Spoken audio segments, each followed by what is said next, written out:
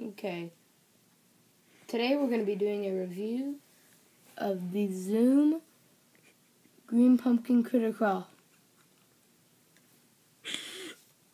I'm sorry. Keep going. Just keep going. Cole's having a breakdown. Don't worry about it. He's completely fine. Hopefully. that was, that was Um, good. I hope it. But today we're going to be, like I said, doing a review on the Zoom Critter Craw and Green Pumpkin Color. Zoom Bait Company. And the way I rig them is with an extra long jig head. And it's about the size four to three and a half out hook. And it's a single barb hook. But it's it has a jig head at the top. And what I'll do is I'll run it down just a little bit and pull it out about there. Oop, there it is. And then I'll run it down and then make sure pop that in there good. Came out differently.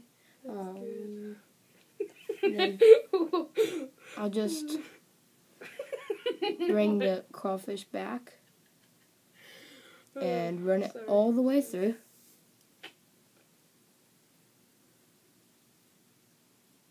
Almost there.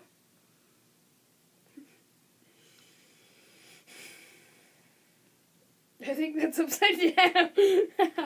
yeah, that's upside down, Will. I have falsely rigged this. Look, Don't do it that way. let a pro rig it real. We do it. I sorry, I did it from the top. We need to do it from the bottom and pull it out about From the There. back. and Let's see one of these. from the back. Eat alley, alley, oop, that do. And then Cheese on your burger.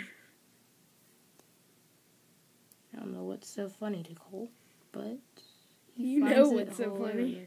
You know what's so funny to me. And oops. But this is how you rig the critter craw. I ran it through the back and then brought it around to the front. You could make it weedless with a few adjustments to how you rig it, but I use it as a Hey, Will, you want some hooks? and some other things. And again, these are the hooks that Cole was throwing at me that I like to use to rig the critter craw is a bait slow on the bottom or a nice dock flipping bait or any kind of flipping bait. Okay, that's it. Thanks for watching. Zoom Critter Craw and Green Pumpkin. Will. There's a lot.